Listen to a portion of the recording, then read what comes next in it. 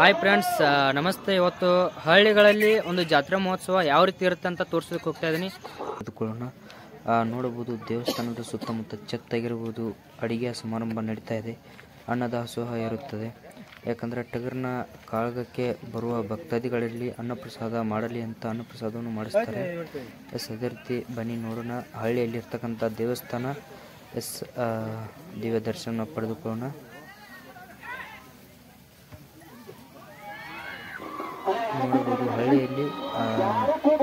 ದೇವಸ್ಥಾನ ಚಿಕ್ಕದಾಗಿರ್ಬೋದು ದೇವಿಯ ದೇವಿಯ ಪವಾಡವು ತುಂಬ ಅದ್ಭುತವಾಗಿರ್ತದೆ ಅಂತ ಹೇಳ್ಬೋದು. ಯಾಕಂದರೆ ದೇವಿಯ ಅದ್ಭುತ ಆ, ಅದ್ಭುತವಾದ ಪವಾಡ ಅಂದರೆ ಅಷ್ಟೊಂದು ಭಕ್ತಾದಿಗಳನ್ನು ಹೊಂದಿರತಕ್ಕಂಥದ್ದಾಗಿರ್ಬೋದು. ಅಲ್ಲಿ ರೈತರಿಗೆ ಒಂದು ಒಳ್ಳೆಯದನ್ನು ಮಾಡಿದ್ದಕ್ಕೋಸ್ಕರ ದೇವಿಯ ಜಾತ್ರೆ ಅಂತಕ್ಕಂಥ ತುಂಬ ದೊಡ್ಡದಾಗಿ ನಡೆಯುತ್ತೆ. ನೋಡಬಹುದು ಮಹಾಪ್ರಸಾದಕ್ಕೆ ಅಡಿಗೆಯನ್ನು ತಯಾರು ಮಾಡ್ತಾ ಇದ್ದಾರೆ. ಆಯ್ತು ನೋಡ್ರಿ ನೋಡ್ರಿ. ನಾವು ಆಮೇಲೆ ಯಾಕಂದ್ರೆ ಒಂದು ಟಗರ್ನ ಕಾದಾಗಿರ್ಬೋದು ಯಾವ ರೀತಿ ಜಾತ್ರೆನ ಸಂಭ್ರಮಿಸ್ತಾರೆ ಅದನ್ನ ನೈಟ್ ಟೈಮಲ್ಲಿ ತೋರ್ಸೋದಕ್ಕೆ ಹೋಗ್ತಾ ಇದೀನಿ ಬನ್ನಿ ಎಲ್ಲರೂ ನೋಡೋಣ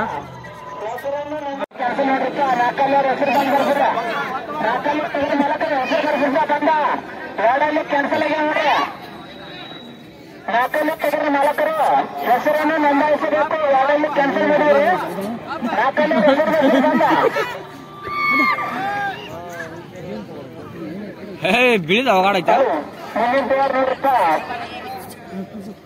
ಬೆಲ್ಲದಲ್ಲಿ ನೋಡಿ ವರ್ಚಸ್ಸ. ಪೂಜೆ ನಡ್ಕೊಂಡು ಅದೇ ಅದು ಬರ್ತಾ ಇರ್ತಾ ಮುಂದಿನ ಸಾರಿ. ಮೂರನೇ ಕೊನೆ ನೋಡ್ರಿ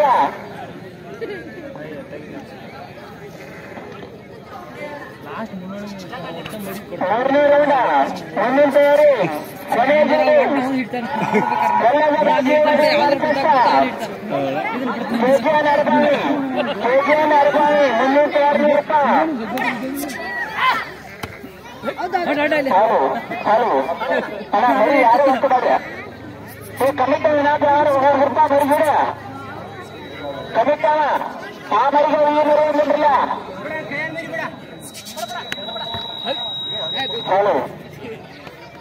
हेलो आज बोर्ड पर देते हेलो आप तो बैठे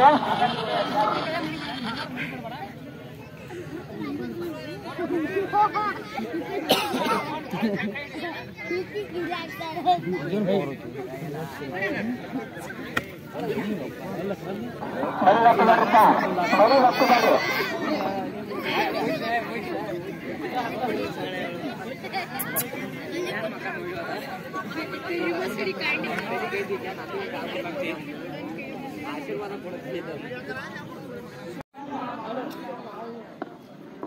ಹೋಗ್ತದಾರೆ ಯಾವ್ದು ಬೇಸಲ್ಲ ಸಾಮಾನ್ಯನಿ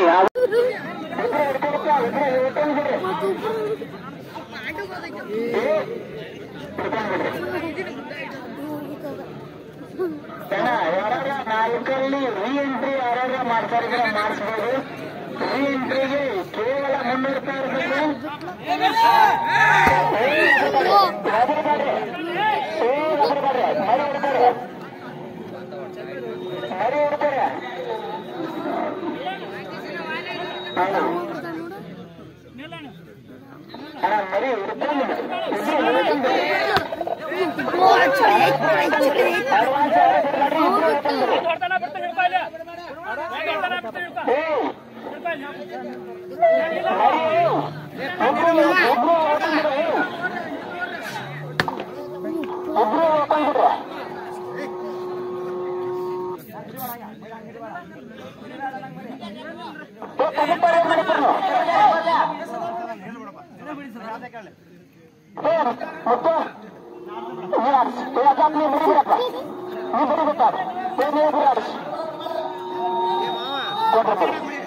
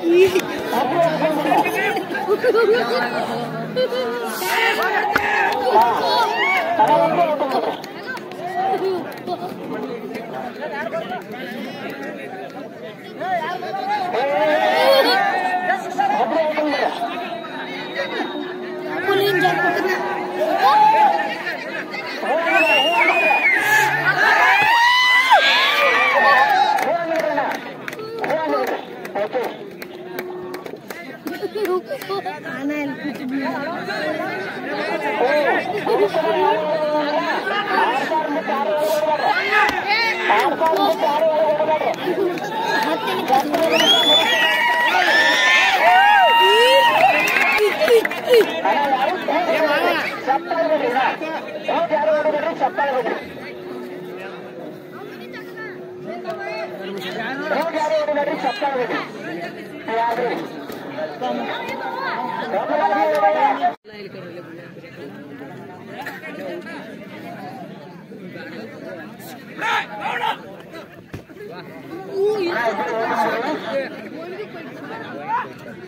ஆத்துக்கு போனா இருக்குது